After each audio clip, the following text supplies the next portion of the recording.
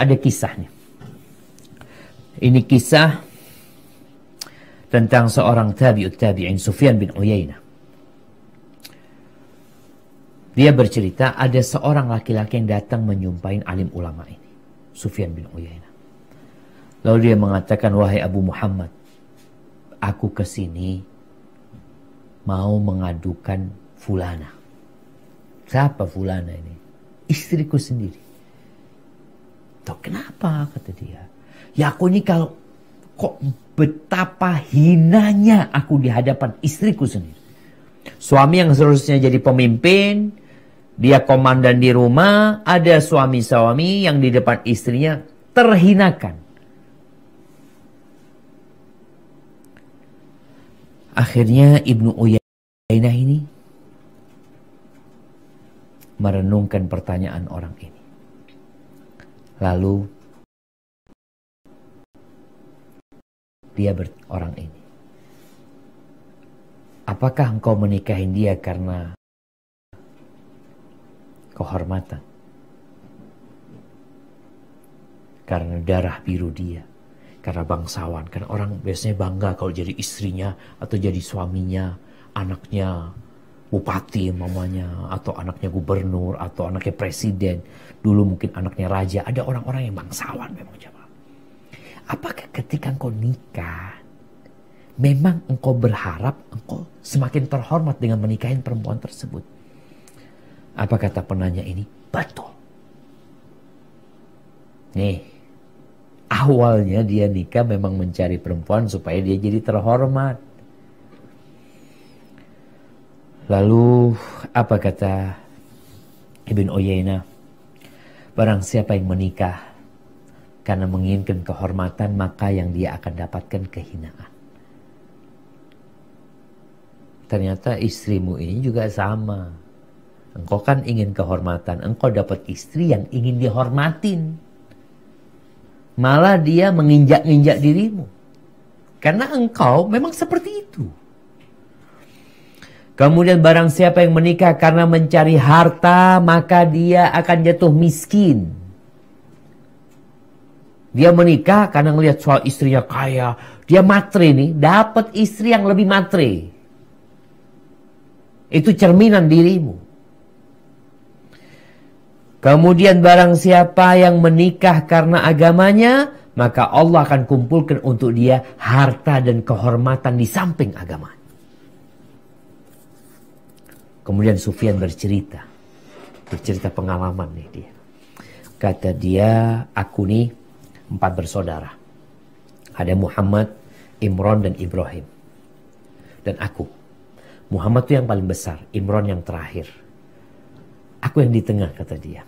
Tatkala Muhammad hendak menikah, yang paling besar hendak menikah ini, dia menginginkan wanita yang bernasab mulia. Ya. Itu yang ada dalam benak dia. Dia mau menikahin wanita yang bernasab mulia. Biasanya ya, biasanya nih, yang nasab-nasab mulia itu ya cantik ya. Karena bapaknya namanya raja atau bapaknya orang tersohor, banyak fulus, dia bisa milih tuh perempuan-perempuan tuh. Jadi uh, hasilnya bagus tuh anaknya. Dia menikahin Muhammad itu memang mencari wanita yang nasabnya mulia. Maka dia menikahi wanita yang nasabnya mulia. Yang lebih mulia secara ya sosial lebih tinggi dari dia.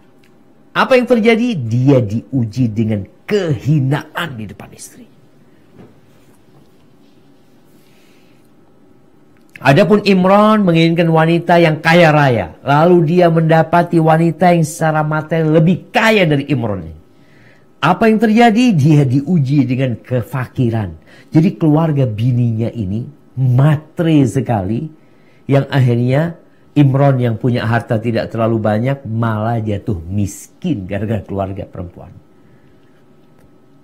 Kemudian Sufyan bin Uyainah mengatakan, aku pun merenungkan nasib keluargaku ini, kakak adik kayak gini, kata dia. Lalu suatu hari datanglah kepada kami Ma'mar bin Rashid. Aku musyawarah dengannya. Menceritakan kejadian yang menimpa kedua saudaraku. Lalu dia mengingatkan aku kepada hadis Yahya bin Ja'dah dan hadis Aisyah. Yahya bin Ja'dah meriwayatkan bahwa Nabi SAW mengatakan perempuan dinikahin karena empat hal. Lima liha wa jamaliha wa hasabiha wa diniha. Dan Nabi mengatakan, hendaklah engkau mencari, mendapatkan wanita yang baik agamanya, engkau akan beruntung. Yang pertama. Adapun hadis Aisyah radhiyallahu taala anha, Nabi SAW mengatakan, A'zamun nisa'i barakatan aisaruhunna mu'na. Wanita yang paling banyak berkahnya adalah yang paling ringan maharnya. Lalu kata Sufyan, atas dasar itu aku memilih untuk diriku wanita yang baik agamanya, ringan biayanya, dalam rangka mengamalkan sunnah Nabi Muhammad SAW. Dan Allah pun mengumpulkan buat aku martabat, harta, dan agama. Dia mendapatkan keindahan tersebut. Maka hendaklah kita hati-hati. Perempuan-perempuan yang cantik. Biasanya dia itu mencari laki-laki bukan yang cantik, bukan yang tampan. Yang fulus. Laki-laki yang fulus biasanya akan cari perempuan yang cantik. Jadi perempuan ini membeli harta suami dengan kecantikannya dan sang suami membeli kecantikan suami dengan hartanya sama siapa? Sama-sama duniawi.